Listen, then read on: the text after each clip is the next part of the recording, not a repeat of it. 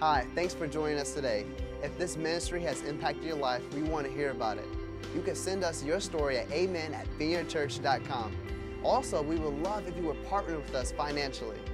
You can go to vineyardchurch.com and click the Give online or text your donation amount to 757 230 2110. Now, here's this week's message.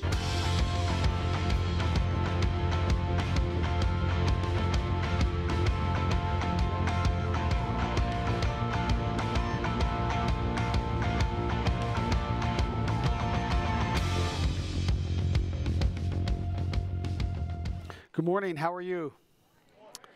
We are in a series, part three of a three part series, brand new. It's brand new series called Brand New. The idea was when we start a new year, 2017, sometimes we want something new. You know, we call them New Year's resolutions, and, and we, yeah, I could use a fresh coat of paint on this thing. You know, we want something new, but often we don't get what we want. You know, I mean, 80%, over 80% of the people who, who make res- resolutions by, by Valentine's Day, they've given up on them because they realize they don't work. Maybe that's you. Maybe you're like already starting to realize, wow, this resolution. A lot of people don't even make resolutions anymore. They just, they kind of gave up on that. They realize that's not, it doesn't work. And the reason is because in the New Year's, this, this resolution dilemma, when we try to put external things on us, it just doesn't work like that. God didn't design us that way. He designed us to be changed from the inside. And we've been looking at that. Kind of our theme verse has been this verse. If you pull out your outlines, you can follow along. The theme verse is 2 Corinthians 5:17 says when somebody when someone becomes a Christian. And if you pause there, you know, it's not it doesn't mean that you go to church. It doesn't mean you're a good boy or a good girl. What does it mean when somebody becomes a Christian? Do they just be, they start becoming more moral? Do they get religious? Do they get baptized? No. What he says is when somebody becomes a Christian, he becomes a brand new person on the inside. On the inside, he is not the same anymore. A new life has begun. And so that's what we've been talking about with this brand new series. Week one, we talked about beginning a new spiritual journey from the inside. And then at the end of each message, including this today's, we always end with some questions you can ask yourself. So if you missed that message, I encourage you to go on vineyardchurch.com and watch that. Look at those questions. Maybe you have your, your outline. Don't, don't just throw that out. That should be your questions you ask yourself throughout the year and say, you know what? I want to have my, my spiritual journey really be transformed this year. Because here's the deal if if it's if 2017 is the best year of your life spiritually, it will be the best year of your life because God will bless all these other areas. So you just make them, you know, God, I want you, you know, first place in my life. Then we looked at week two last week about about new. So it was new faith and then new fitness that God cares about our physical body.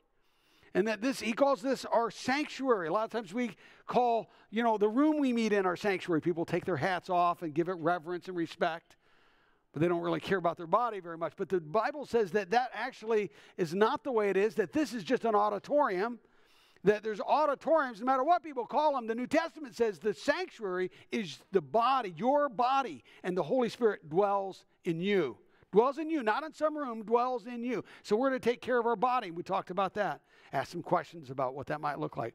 Today we're talking about new finances because finances, what what you'll learn, what we look at today when we look at the Bible, we'll see that that money is spiritual. Money is spiritual. It's not neutral. In fact, money has a spirit on it. Jesus talks about this. In fact, Jesus talks more about finances and money than he does about faith, more, he, more than, than he does about heaven and hell. I mean, it's all over because it's money is spiritual and it impacts us and influences us. We can be its victim in a negative way if we're not aware of the schemes of the spirit that can fall on money. So we're going to look at that today so that we have a uh, we have victory in 2017 and beyond. Most people's problems are associated with money. If you look at statistics about the murders and deaths in, in America. A lot of it's over money, drug dealing, whatever it is, it's over money. Most divorces, people report, are connected to disputes over money, disputes over finances.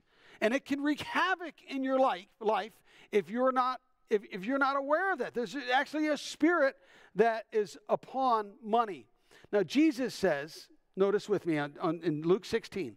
A number of verses, but we're going to look at this one. He says, And I say to you, make friends for yourselves by unrighteous mammon. Now, this is one of the most misunderstood verses in the Bible. What does that mean, unrighteous mammon? Well, he's talking about the spirit over money. He says, make friends for yourself. In other words, you take this world spirit on money, you put God's spirit on money, and then you use it to influence people. Then he says, then, then when you fail, that when you fail, why would, you know, who wants to fail? You know, why would I do that? I don't want to fail. Well, that's probably not the best translation. A better translation would be when you die. When you die.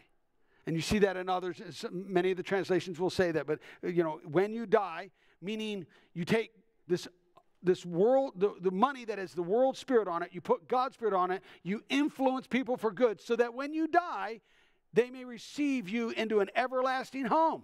In other words, there's going to be a homecoming. You will influence people that you don't even know that you're influencing them, but when you go to heaven, they're going to come up to you and say, Thank you, because you invested in a missionary that went to Mazatlan, Mexico. I'm from Mexico. I was one of those kids that was influenced. I came to Christ. Here I am in heaven, and it's because of you. Or many other ways that it happens.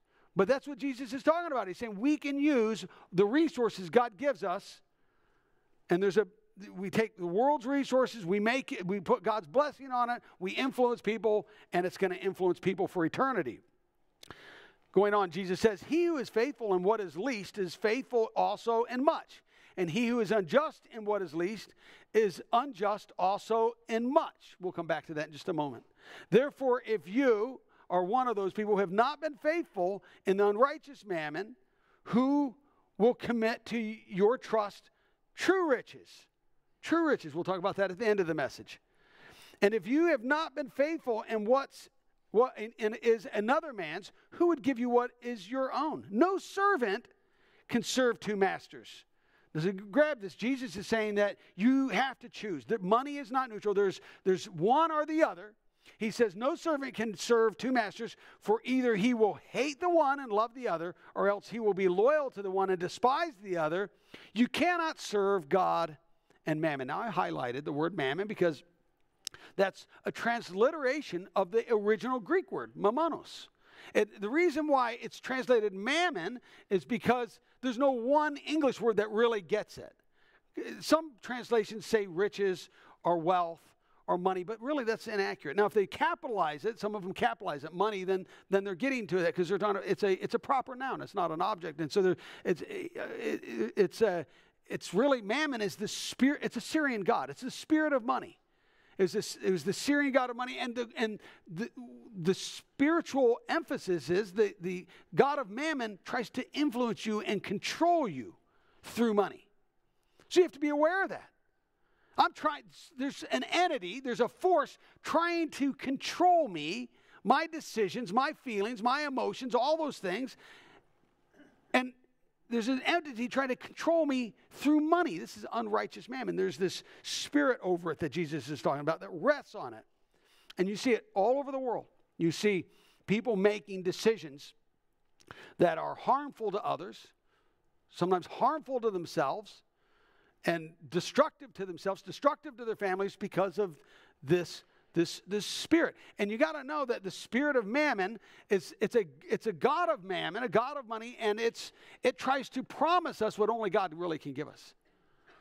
And there's and it controls us through fear. Well, that's one of the ways that the, the spirit of mammon controls us. The is, fear, fear that we'll never have enough. You'll never, and, and it's actually true. If your focus is money, there's always a catastrophe bigger than your pile of cash. No matter how much you put aside, for the rainy day and the stormy day and the blizzard day. I mean, there's always something bigger. And so we live, people that are caught up in the spirit of mammon, they live with that fear. I'll never have enough, so I've got to get what's mine. I got to get all I can. Can all I get, sit on the can. Make sure it's mine, you know, I've got to protect what I got. And it's it's this attitude that hurts people. There's a book that was written The Day America Told the Truth by James Patterson and Peter Kim. Interesting, they interviewed thousands of people, surveyed them, Americans, and said, What would you be willing to do for $10 million? What would you be willing to do? And here's what they said 25% said they'd be willing to abandon their family. See ya. Don't want to be ya. You know, they'll, they'll abandon it. It's like the lady who won the lottery, you know, 17 million. She calls up her boyfriend says, Hey, I won the lottery. Pack your bags. He goes, Where are we going? Warm, warm weather, cold weather? She goes, I don't really care where you go as long as you're not here when I get home. That's a joke. Sometimes it happens that way, though. People, 25% are willing to say, You're gone. If, that's, if they thought they could get 10 million, 23% said they would be willing to become a prostitute for a week or more. Hello. 16% said they would give up their American citizenship. That's not too surprising nowadays, right? You hear about that? People so upset. Going to Canada. 10% would withhold testimony letting a murderer go free. 7% would kill a complete stranger. 3% would put their children up for adoption. Some of you might be thinking, I'd do that for free, actually. but you know, all kidding aside, I mean, you read those. I, I, when I read them, I just, my heart ached. I thought, that's so sad. And that's, that's large groups of people. That's Americans. I mean, there's like this, this spirit over our nation, a spirit of mammon. Hey, if there's enough money involved, I'll, there's no, I'll stoop real low. That's a spirit of mammon, friends. That's what that is. And so that should be a concern for us. Mammon tries to influence us for, for, for, you know, it just it causes us to focus on what money can provide in inordinate ways where we just think, oh man, I just need this. I just need more money. More money. And we're influenced like that.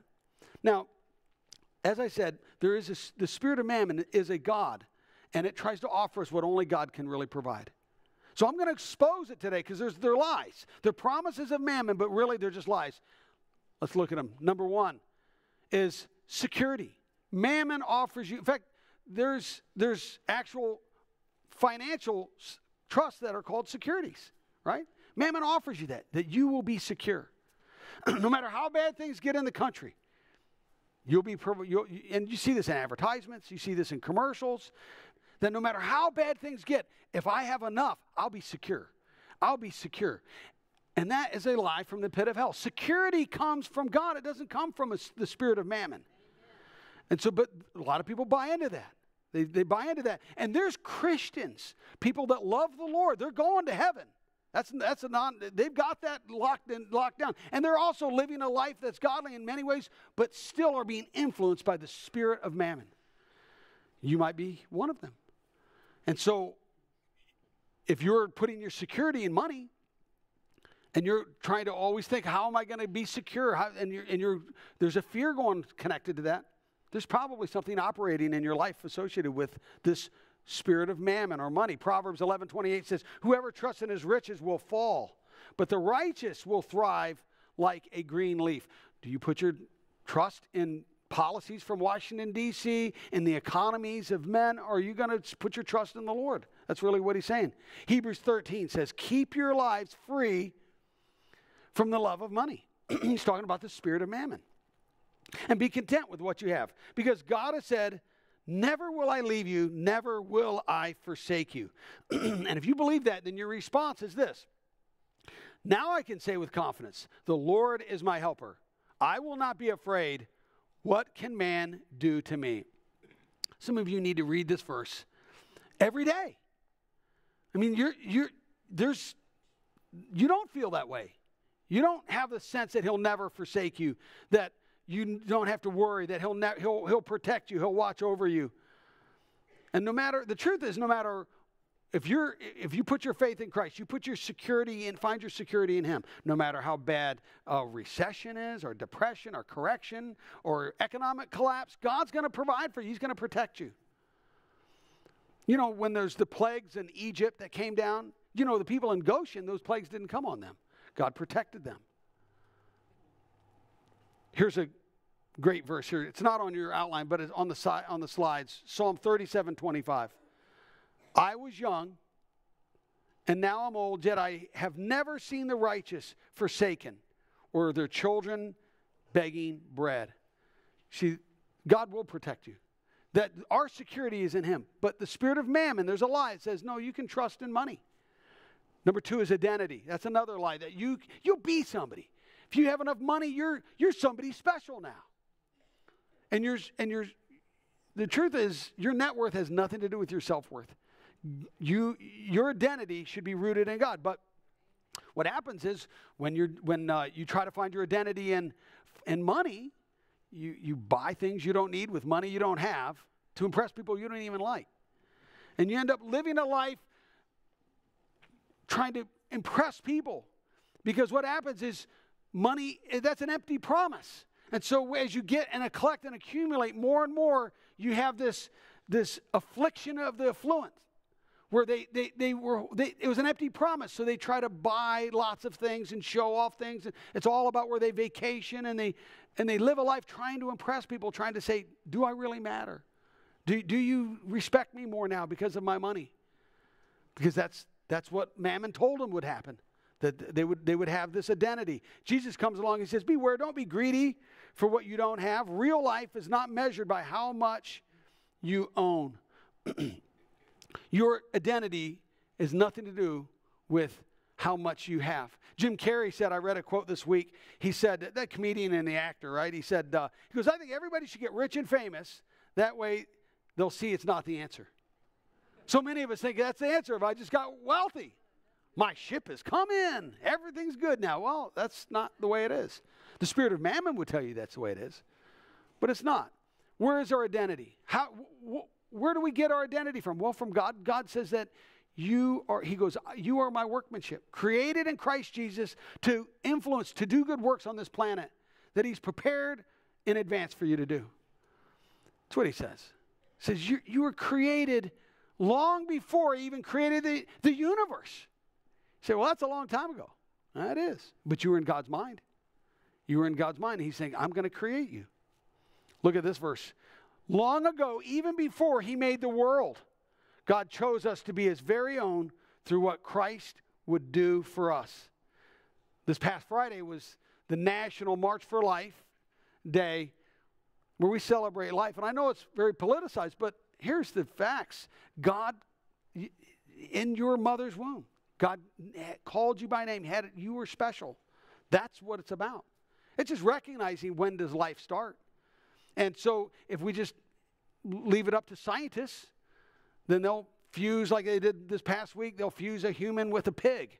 And th- I mean there's no morals for scientists. There's no there's no context for that. But for Christ followers, when we look at God's word, he says, no, actually, your life has value from way back when you were just when you started in your mother's womb and before and before. Psalm 139 says, You are created, for you created my inmost being. You knit me together in my mother's womb. I praise you because I'm fearfully and wonderfully made. Your works are wonderful. I know that full well. Not everybody knows that full well. Sometimes believers don't know that full well, so they look to the spirit of mammon to give them identity. One of the reasons we offer Vineyard 301 is we give you a, a, spiritual gift assessment. We talk to you about how God created you, how you can be used for making a difference in this world. And no matter how much money you have, let's do it together. Let's change the world for Jesus and see and, and, and see what God does through through through through us. Third lie is happiness. Now, probably most of you know this. I mean that there's, there's a plenty of wealthy people that are miserable, rich people that are miserable. it doesn't create happiness, although that is one of the promises that the spirit of mammon will make. Ecclesiastes 5.10 says, those who love money, it's referring, this love of money is the spirit of mammon. In other words, it's okay to have money, it's just not okay for money to have you. He says, we'll never have enough. How absurd to think that wealth brings true happiness. Well, that's absurd, he says. Some people, they, they probably wouldn't verbalize it. It's like politically incorrect or something. They wouldn't say, yeah, money brings happiness. But they live like that's true. They spend like that's true. That is their life MO. Although they wouldn't say it because they know people would look at them like, that's absurd, because it is. Well, where does happiness come from? Well, happiness comes from recognizing my sins are forgiven. That I, I, I, I have a place in the kingdom of God because of what Christ did for me that I have a clear conscience. Notice what he says Happy are those whose sins are forgiven. In other words, it's better to be just, instead of being debt free, I'd rather be f- just guilt free. Now, it's good to be debt free, but it's way better to be debt free of the soul, knowing that my, the, all my sins, past, present, and future, Christ paid for those, so I don't have to pay for them. I don't have to live with guilt. And I can live with the power and the freedom that comes from being able to forgive that is not afforded to people who don't who haven't been forgiven. It just it just can't do it. You've got to be you got to personally experience the forgiveness of God before you can then give that out. And I'm able to do that like all Christ followers who have that experience. And that's there's happiness that comes. You're released from all that bitterness, all that anger. Happy are those whose sins are forgiven, whose wrongs are pardoned. Happy is the person whom the Lord does not consider guilty. That's awesome. You get a fresh start. Just a fresh, and this 2017 can be that for you a fresh start, including your finances. Now, when it comes to the issue of finances, sometimes the church kind of falls on one extreme or the other. One extreme would be the prosperity gospel you know, bring in the money, pass the bucket three times, and it's all about, you know, and I can have five Rolls Royces. And no, you can't. That's not God's, that's not the gospel. That's an extreme. Like it's all about me and I get as much money as I want. That's God's not honored in that. And then the other extreme is this, this idea that, oh, God wants me broke and poor and humble. And He receives that. He doesn't receive that. That's not His will. He wants you blessed. He wants you blessed. He wants your cup to overflow. You know, that's in Psalms 23. My cup overfloweth. What is he talking about? He's talking about it all. Your cup over. Why? Because you have enough to give away. You have enough to bless others. God blesses you so that you can be a blessing to others. That's why God, He wants you to use your resources to leverage Him to influence other people for good and to be blessed. I mean, you don't have to live on beanie weenie and top ramen, you know, this, you know, cheese and, you know, mac and cheese and all. No, I'm not talking. God, you live in the blessing God gives you, but it's not all for you. You realize that that's a spirit of mammon. You realize, no, I want, I'm going to use, I, I have to be careful how I use this because I want to be a blessing to, to other people that God brings into my life. I want to make a difference. 1 Timothy 6 says, People who want to get rich fall into temptation and a trap and into many foolish and harmful desires. That's the spirit of mammon he's talking about that plunge men into ruin and destruction. 25% saying, I'll abandon my family. 23% said, I'd be a prostitute. All those kinds of things. For the love of money, the spirit of mammon is a root of all kinds of evil. Some people, eager for money, have wandered from the faith and pierced themselves with many griefs. So we don't want to do that. So, how do you get the spirit of mammon off, the spirit of God's presence on your money, because money's spiritual. How do you get that? Well, that's an important thing to know. And as you approach 2017, you want to be able to do that. You want to say, I want God's spirit on my money. Well, what you need to do, all of us, we need to recognize that our attitude has to change. we have to realize that it's all God's. Everything is God's. Everything that He created is, is His. And that He then proportions it out and gives, everybody gets some, but everybody doesn't get the same amount. And then, then, we, and then we have to recognize it's God's, it's God's resources. And so God then says he wants us to return some to him. We don't, it's not giving. You can't give what you don't have. It's not yours. It's God's. That's why it starts with recognizing it's all the Lord's. And then we return some to him. We return. It's called a tithe. Andy, you talking about tithing? Well, you must be building something. No, we're not building anything. This, this building's paid for. That's it's great. But you'd say, well, Andy, you're the preacher, though. I expect you to say that. Well, I get that. I understand. I can't argue with that. I get it. But I can tell you my own personal story that years before I knew I, God was going to call me into the ministry, I came to Christ when I was 18 and I learned about tithing. At first, it bothered me. Probably like most of you. For me, I, I was living with the spirit of mammon in my life. So I didn't want anybody touching my stuff.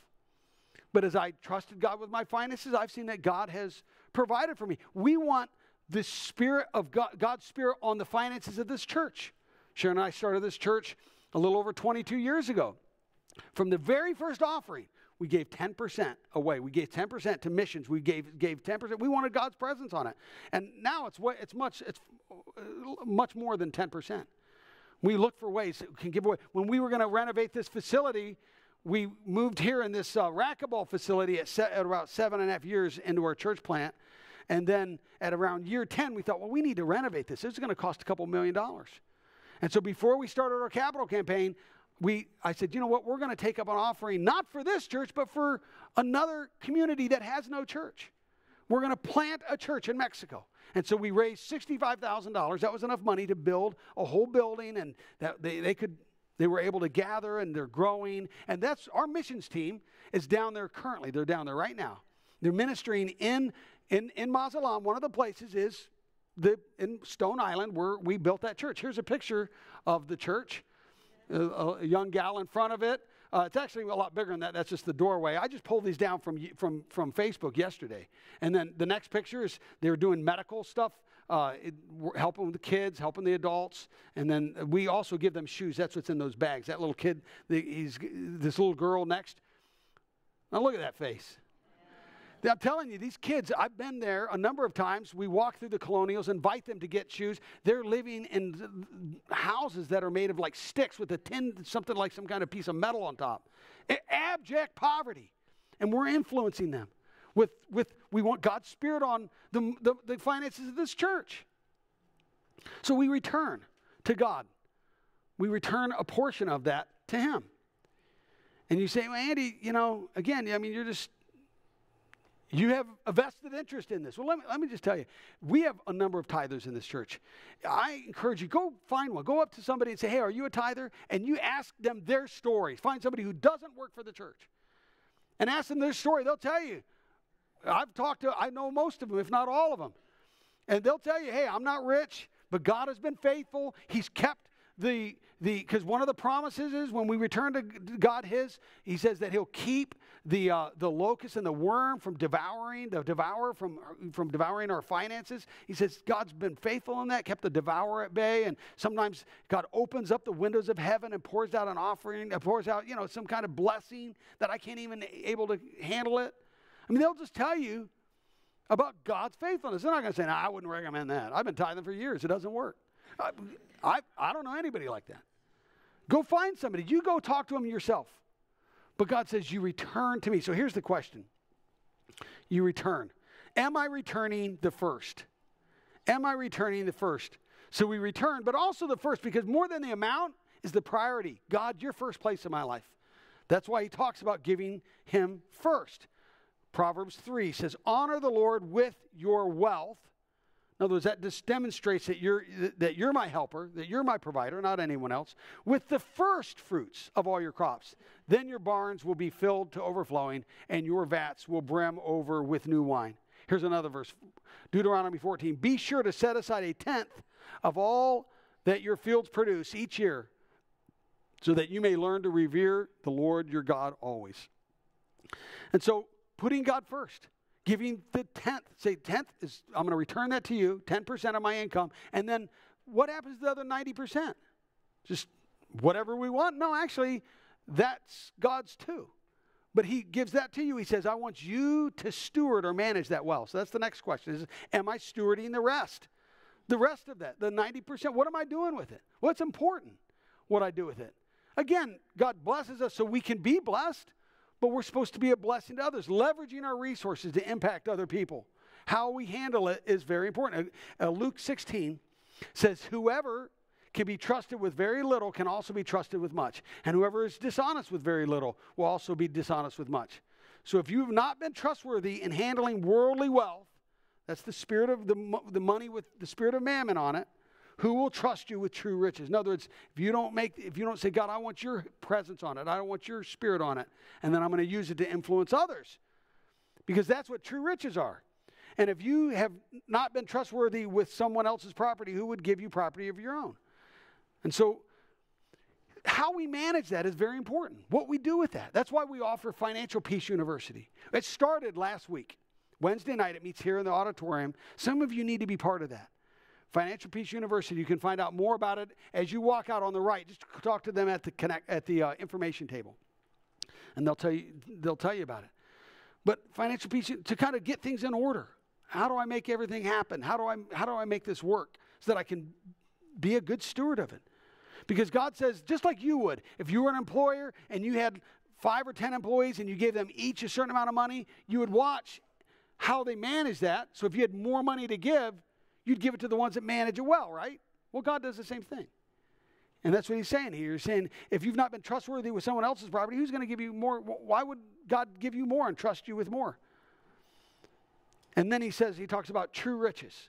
True riches is the only thing that's going to last into eternity is people. And money, you can't take your money with you. And so we use our money and we leverage it to impact people for eternity's sake. So if God's given you a swimming pool, you use your swimming pool and have kids in the neighborhood come over, play with your kids, and you tell them about the gospel. Or Super Bowl, if you have a big screen TV, you know somebody who doesn't have one, you invite them over. Hey, we're watching the Super Bowl. And then you're able to just indirectly maybe share a little bit about the gospel in between. You know, I don't know when the commercials are kind of cool. You'd find you'd find a way, right? find a way to talk about Jesus. And you you realize that true riches are what's going on into heaven, which is people. Am I focusing, number three, am I focusing on true riches? In other words, am I really making a difference?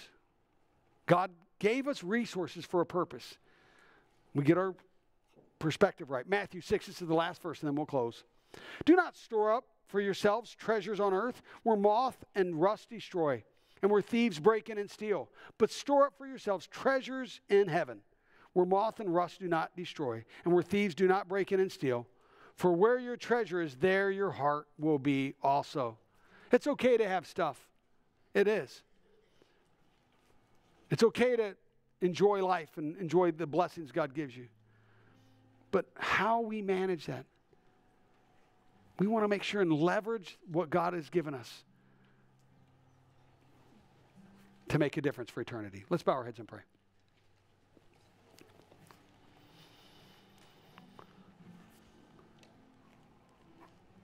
We're just going to take a few moments here, just a couple minutes, two or three minutes. I'm going to ask you to be quiet, not to try to gather your things right now. just to take a moment, and this is really between you and God now. Because we just had a Bible study, we had some singing, and we had a Bible study. But prayer, whenever we're finished in reading the Bible, it's decision time. Will we do what God is asking us to do? And that decision falls square in your lap, right where you're at, right where you're seated. It's between you and God right now. It's your moment to pray. Some of you have been gripped with the spirit of mammon. And so there's that influencer that's saying, no, no, no, no, that's true. Don't believe that. And then if you if you incline your ear to the Holy Spirit, you'll hear a different voice. Says, Trust in the Lord with all your strength. Lean not unto your understanding. Acknowledge him in all your ways, and he will direct your paths. The Holy Spirit will say, No, you can trust what I'm saying to you. And so it's decision time. I want you to make a decision. Am I going to, what am I going to do? It's the beginning of 2017. Am I going to recognize that I want my body is a, is a temple, is a sanctuary? God's given me a new faith, that money is spiritual, and that I, God wants to bless me but he wants to bless money that's been dedicated to him, not worldly mammon, not worldly wealth. Would you say, God, I want to serve you in all ways? Today is my time to decide.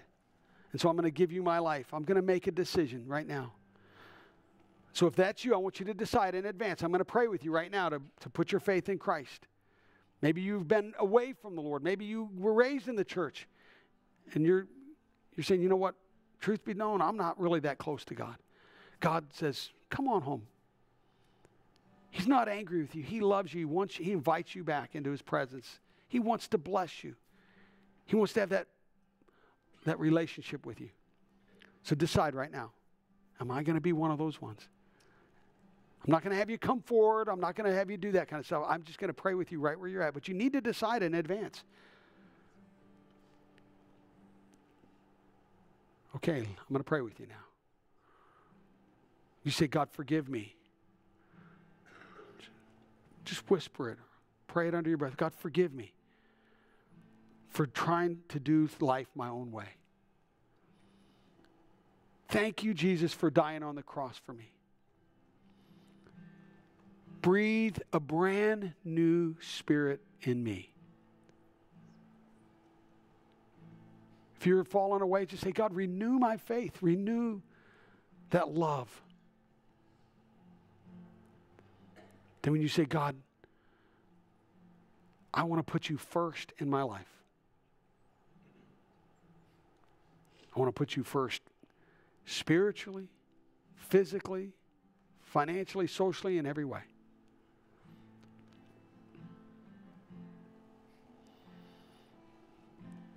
I want you to control my life. I'm not going to do it on my own anymore. Now I'm going to pray for everybody. Lord, I would pray that as a church,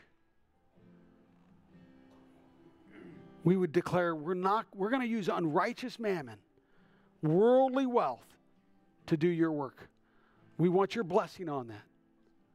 We're not going to seek our identity through what the world has to offer.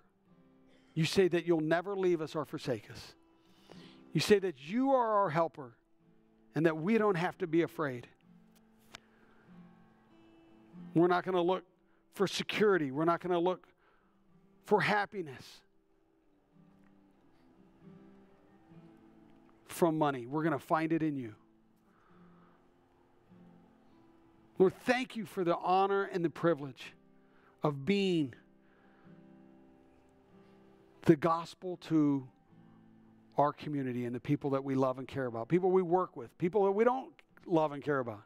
Everybody uh, that irritates us, we get the privilege of, of being lovers in the world. People that have, through the power of Christ, the ability to bring a word that can release people captive, who are captive, release people that are addicted, people that have all kinds of things going on, relational brokenness in their homes. Lord, we pray that use us this year. In Jesus' name, amen. Thanks for listening to this week's message. We hope you enjoyed it. Don't hesitate to write us your story at amen at vineyardchurch.com. And we'll see you next week.